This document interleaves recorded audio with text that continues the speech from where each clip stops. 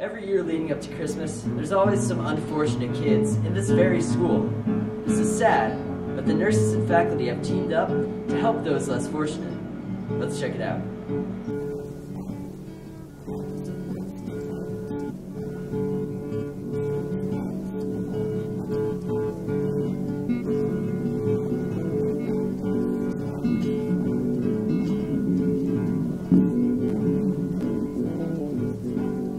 I took the reins on our Empty Bowls project, and the Nurses Fund is the number one recipient of the money that we raise. Uh, we always try to, um, you know, take some money right from that, and, and it's usually like a thousand dollars or more.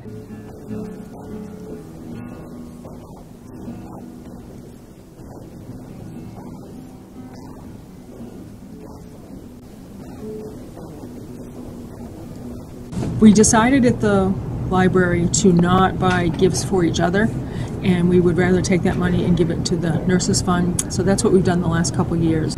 We just put our own personal money in and give it to the nurses fund. I think it's a really nice holiday thing to do.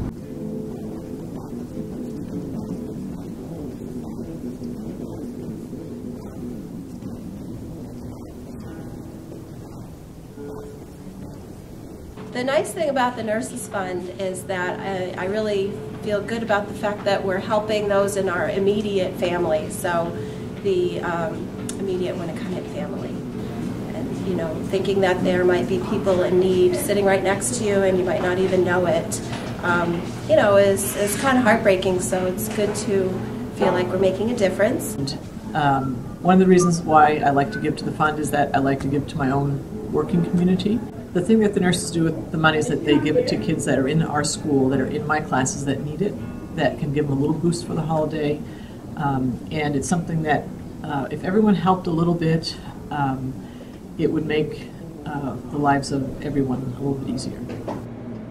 Well, there you have it, Winnacunnet. Make sure to check out for these projects run by the faculty all year round and during Christmas time.